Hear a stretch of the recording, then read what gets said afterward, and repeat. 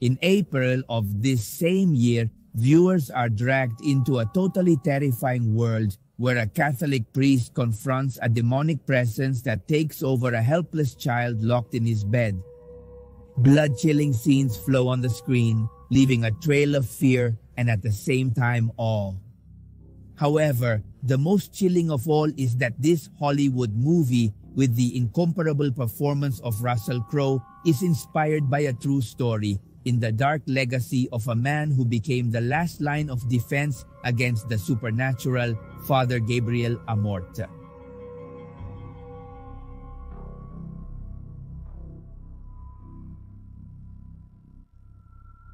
Amorth, a name that makes even the bravest shudder, claimed to have banished the devil on countless occasions, a chilling record of 60,000 exorcisms in which he challenged the forces of evil.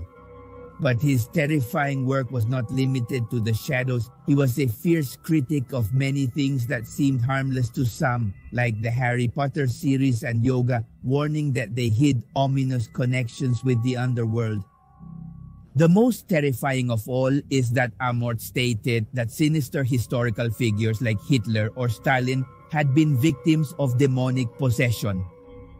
His words cast a dark shadow over human history and its incomprehensible horrors. Even the classic movie The Exorcist, a story that has haunted entire generations, was rated by Amorth as substantially accurate, which only added one more chill to his entirely unsettling legacy. Father Gabriel Amorth, a fearless Italian priest born on May 1 of 1925 in the picturesque Modena in the Emilia-Romagna region, and whose spirit bid farewell to this world on September 12 of the year 2016 in the majestic Rome in the heart of Lazio with a man whose life was marked by a truly extraordinary mission. In He became a renowned exorcist in the iconic Diocese of Rome, and his name extended beyond the borders of faith due to his fascinating work. Captured in books that unveiled the mysteries of the struggle against evil, lectures that ignited restless minds, and radio and television appearances that captured the attention of audiences from eager to know the secrets of exorcism, its religious and priestly forms. The life of Father Gabriel Amorth, born into a middle-class family in Italy, was marked by an extraordinary journey. In addition to his service in the church, he was a brave fighter in World War II, an experience that would shape his character and at the same time his determination. Already in the 1950s, the father was ordained as a member of the Order of the Pauline Fathers, committing to a life of religious service. However, his fate would take an unexpected turn in 86 when Cardinal Hugo Poletti asked him to join the chief exorcist of the Diocese of Rome as the church needed desperately exorcists to then go on to work with Candido Amantini, a sick priest who would choose love to succeed him. This call plunged him into a world of the inexplicable and the supernatural. What followed was an astonishing chapter in the father's life, who found himself attending to an astonishing number of people, sometimes up to 80 each morning. His dedication and bravery stood out even more when he began performing exorcisms at the historic Holy Stairs Church in Rome. However, the intensity of these rituals, often filled with screams and spiritual struggles, scared away the faithful who were seeking peace and devotion in the same place. Faced with this situation, Gabriel Amorth was forced to move his office to the headquarters of his order, the Paulist Fathers. There he continued his tireless fight against the forces of evil, helping those who sought to free themselves from the bonds of demonic possession. The life of Father Gabriel Amorth is a testament to dedication, faith, and courage in the fight against the unknown, leaving a legacy that endures in the memory of those who sought his help and in the history of the Catholic Church. The chilling accounts of the exorcisms performed by him reveal a world in the supernatural that defies reason and human understanding. On February 21, 1987, Amorth performed his first exorcism, the first of over 60,000 as a thousand as I was telling you at the beginning that he would carry out throughout his life. His debut involved a 25-year-old peasant who, when going into a trance, would utter blasphemies in English, only for another strange voice from the depths of his being to translate those cursed words. On other occasions, he came face to face with equally terrifying manifestations. An illiterate woman, unable to read or write, hurled insults in a language that, after thorough investigation, was discovered to be Aramaic, an ancient Middle Eastern language. Amorth had memorized the 21 rules that precede the rite of exorcism, rules that are found in the Rituale, Romanum of Pope Paul Vita, written in 1614. He was warned, however, that without these rules, he would be doomed to failure in his fight against demonic forces. The main signs of possession, according to this ancient text, include the ability to speak unknown languages, the revelation of hidden facts, and the supernatural physical strength that surpasses the condition of the possessed. Amorth himself witnessed astonishing acts of strength, such as when an 11-year-old boy sent four burly men flying through the air, or when another 10-year-old boy lifted a heavy table over his head, feats that obviously defied all logic. However, the most terrifying symptom of all is the aversion to the sacred, such as the sudden fainting upon entering a church or the uncontrollable rage when seeing a priest. These are indications of a struggle between good and evil that manifests in ways that defy human understanding. One of the most chilling episodes narrated in his book My First Time Against Satan involves a possessed child.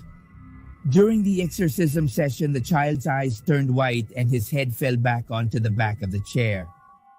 Then a chilling sensation of cold filled the room as the little one began to rise into the air. Half a meter from the chair suspended in a supernatural state for several minutes, these shocking accounts of Father Gabriel Amorth's exorcisms plunge us into a world of the unknown where the forces of good and evil intertwine in a terrifying dance that defies all rational explanation. His life and work are a testament to courage in the face of the incomprehensible. Until his last breath, Amorth warned about the cunning of the devil. He knew that the enemy always hid, lurking in the shadows, and that their main goal was to make humanity doubt their existence. It was a constant reminder that the battle between good and evil is a reality that should not be underestimated or ignored. In the 90s, he also founded the International Association of Exorcists and was its president until his retirement at 75 years old in the year 2000. He was declared honorary lifetime president of the association. In the last years of his life, he became a figure formidable in the fight against evil, performing an astonishing number of exorcisms. On his most intense days, he faced between 10 and 15 demonic possessions per day, a feat that forced him to take drastic measures to deal with the overwhelming demand. In his numerous exorcisms, Amorth noticed an intriguing pattern. Nine out of ten were women, this puzzle baffled him, and although he could never offer a definitive explanation, he speculated that the devil was seeking revenge on the Virgin Mary, I, whom he deeply venerated as a devotee of Our Lady of Fatima. Each exorcism was unique and obviously needless to say, but terrifying experience. He would emerge from these spiritual battles with bruises on his body, the result of kicks, punches, bites, and occasionally spit, evidence of the fury of the dark forces he was facing. One day, an American priest asked Amorth if he was afraid of Satan.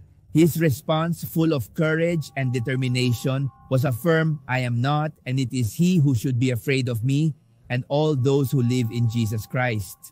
His words obviously reflect the conviction and unshakable faith that guided him in his tireless fight against evil. So, over decades, Amorth performed an astonishing number of exorcisms and treated at least 100 people who were experiencing absolute demonic possessions. However, he maintained a realistic perspective and admitted that in many cases, the underlying problems of the individuals were of a psychological nature and would have been better addressed by mental health professionals only in about 100 cases, according to his own estimates, did he come across genuine cases face to face with the demon. Amorth also emphasized the importance of not confusing demonic possession with common mental or physical illnesses. Symptoms of possession included violent headaches and stomach cramps, but he always urged people to seek medical attention before resorting to an exorcism. His words serve as a reminder that the line between the supernatural and the earthly can be thin and that it is crucial to approach each case with caution and discernment. In this way, Gabriel remained a figure of authority and compassion in his quest to help those who were caught in the struggle between good and evil. In the year 2020, the Vatican officially recognized the Global Brotherhood of Love of Demon Expellers and Breakers, an initiative aimed at raising awareness among other priests about the dramatic reality of exorcism. Similarly, Although Pope Benedict XVI never officially performed an exorcism, it is known that his predecessor, Pope John Paul II, carried out at least three during his pontificate.